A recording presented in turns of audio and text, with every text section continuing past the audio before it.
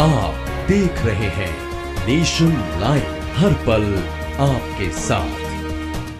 अलीगढ़ शहर के प्रमुख मीट फैक्ट्री संचालक शहर के प्रमुख मीट कारोबारी हाजी जहीर के भांजे और नाती को अज्ञात हमलावरों ने गोली मार दी। आनंद फानन में पुलिस ने दोनों घायलों को गंभीर अवस्था में मेडिकल कॉलेज में भर्ती कराया है। आपको बता दें कि घायल अपनी गाड़ी से मीट फैक्ट्री से घर जा रहे थे।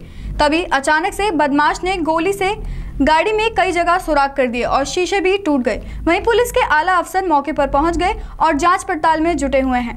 बताया जा रहा है कि आधा दर्जन से अधिक हमलावर बाइकों पर सवार थे। गोली की आवाज़ सुनकर इलाके में हड़कम मच गया। वहीं इलाके में लगे सीसीटीवी कैमरे में भी पुलिस तलाश कर रही है। घायलों की तहरीर मिलने पर पुलिस मुकदमा दर्ज करके आरोपियों को जल्द से जल्द गिरफ़्तार करेगी। हालाँकि अभी तक घायलों की तरफ़ से कोई भी तहरीर पुलिस को नहीं दी गई है। जी जी। और इनका पीछा करा हाथापाई करी गोली गोली चलाई इनके चोट आ गई। उन लोगों ने अपने ऐसी चोट में काम तलक पहुँचे कंपनी तलक कंपनी में फ़ोन करा जब वहाँ के लोग आए कंपनी के। कितने लोगों को गोली लगी है? दो के दो कौन आपके वो पाँच गोली लगी? मेरा बहन का बेटा है। एक भाई है। मामू का बेटा।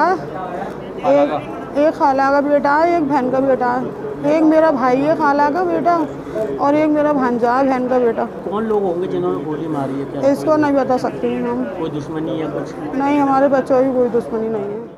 ये अभी तक हम लोगों की जानकारी में आया था कि अज्ञात व्यक्तियों ने फायर किया है दो लोगों के ऊपर। तत्काल पुलिस मौके पर पहुँच के उनको मेडिकल कॉलेज लाई है और उनसे प्रारंभिक बातचीत हम लोग कर रहे हैं।